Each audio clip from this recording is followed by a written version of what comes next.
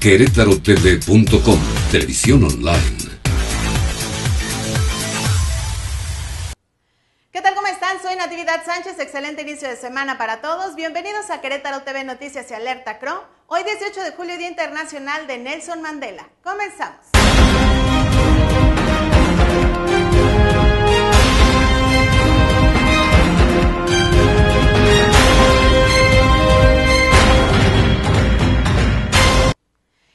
Con los detalles. Ayer por la noche se presentaron fuertes lluvias acompañadas de actividad eléctrica en distintas partes del estado. Lamentablemente una mujer de la tercera edad presentó síntomas de hipotermia luego de que su auto se quedara varado debajo del puente subterráneo de la autopista México-Querétaro. Protección Civil pide a la población tomar precauciones en esta temporada de lluvias.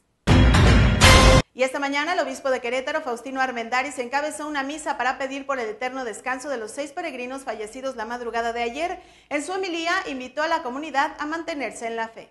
Y cabe mencionar que durante la misa estuvo presente el gobernador del estado Francisco Domínguez, quien se acercó a dar el pésame a las familias.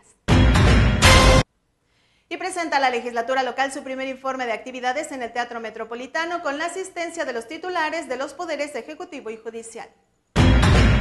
Les presentamos además un avance del arranque de obras de infraestructura para el nuevo sistema de transporte. Hoy damos inicio a la consolidación de primero de un gran trabajo de diagnóstico, de planeación y sustentado en una convicción. Primero, escuchar a los ciudadanos para transformar el sistema de transporte público en Querétaro.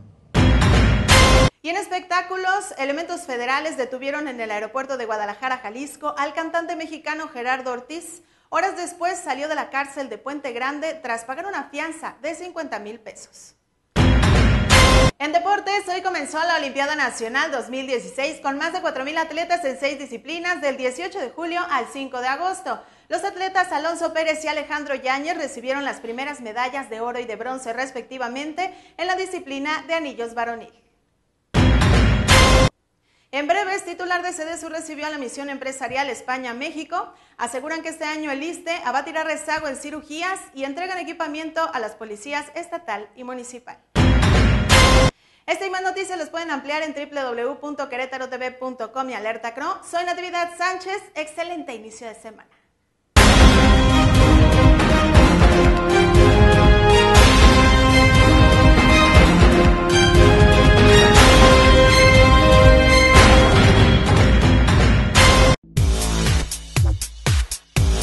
QuerétaroTV.com, televisión online.